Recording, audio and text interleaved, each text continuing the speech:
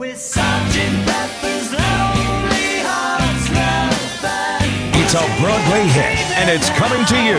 The show critics are calling the next best thing to seeing the Beatles. Rain, a tribute to the Beatles.